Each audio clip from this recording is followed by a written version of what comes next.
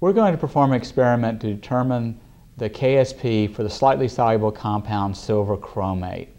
In order to determine the KSP of the compound, we need to be able to determine the equilibrium concentration of one of the ions. We're going to use the chromate ion because it has a yellow color in solution. We're going to prepare a series of standard solutions of known concentration of potassium chromate. We're going to measure the absorbances of those solutions using a spectronic 20. We'll then prepare a set of samples of silver chromate. We'll need to wash the samples to remove the excess reactant. We'll then add some potassium nitrate and let the solutions come to equilibrium. The potassium nitrate is used to maintain the ionic strength in the solution. Once the systems have come to equilibrium, we'll measure the chromate ion concentration in the solutions We'll use the chromate ion concentration to determine the silver ion concentration and then the KSP. We prepared a series of standard solutions of potassium chromate.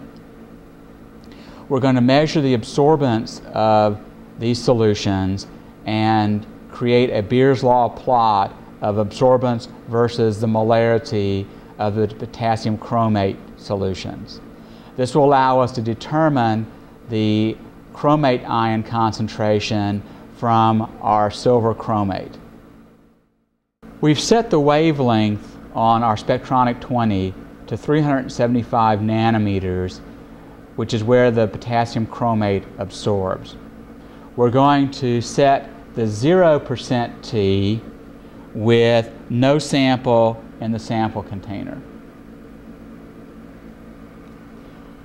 We're going to set the 100% T by taking a cuvette filled with 0.25 molar potassium nitrate.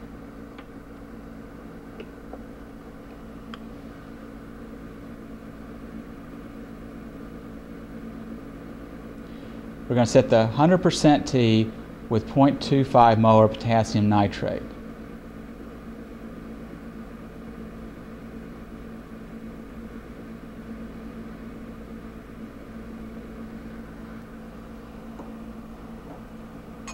We'll remove the cuvette containing the potassium nitrate solution. We'll empty the cuvette and rinse it with one of our standard solutions. We'll place the cuvette into the sample holder and we'll read the percent T from the dial and calculate the value for A. We're going to prepare our sample of silver chromate by mixing a solution of silver nitrate and potassium chromate.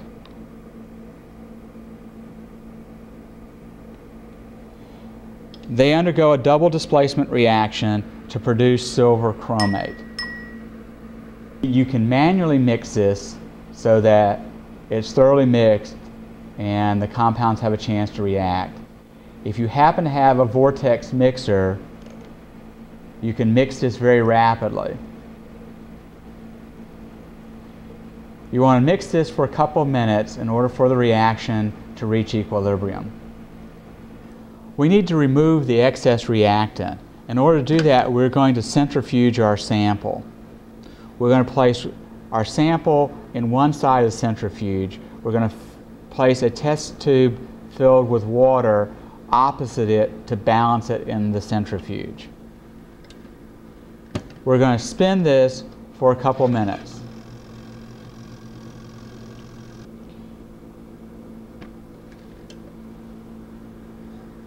We're going to remove the sample from the centrifuge. Most of the solid is then thrown to the side and bottom of the centrifuge tube. We're going to carefully decant the solution, which will contain the excess potassium chromate.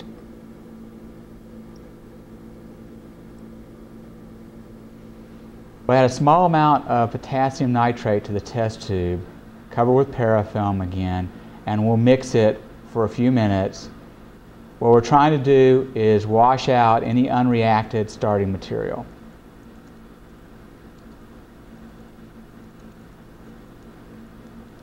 After a couple minutes of shaking, we will then recentrifuge the sample.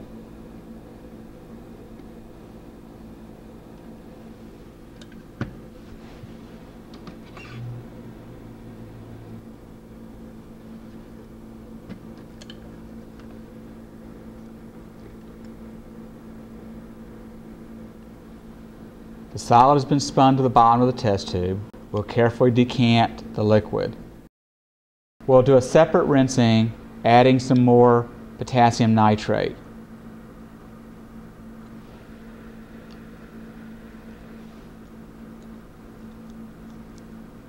We'll cover it with parafilm.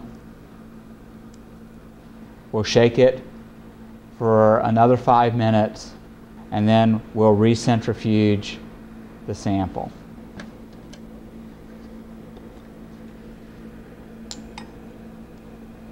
The solid is again at the bottom of the test tube.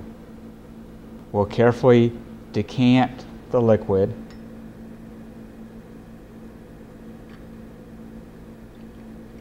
We've now rinsed the solid enough to, remove, to have removed unreacted starting material. We're going to add another 5 milliliters of potassium nitrate solution. We're going to cover it again with parafilm. We're going to shake this for about 10 minutes. That should establish an equilibrium between the solid and the ions in solution. After 10 minutes shaking, we'll spin down the sample. We're going to remove our sample from the centrifuge.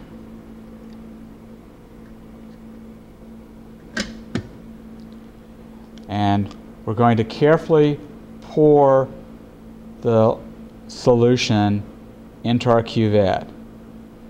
We'll try carefully not to get any solid in the cuvette.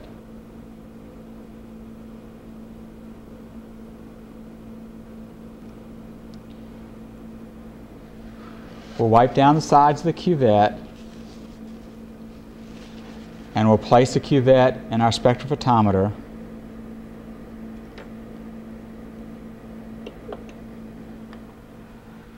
And we'll read the percent T from the meter and calculate the A value. We'll read the percent T value from the meter and calculate the absorbance. We'll use the Beer's Law plot of absorbance versus concentration from our standards to determine the concentration of the chromate ion in solution. We'll use the chromate ion concentration to calculate the silver ion concentration and with the silver ion concentration and chromate ion concentration, we'll calculate the KSP value for silver chromate.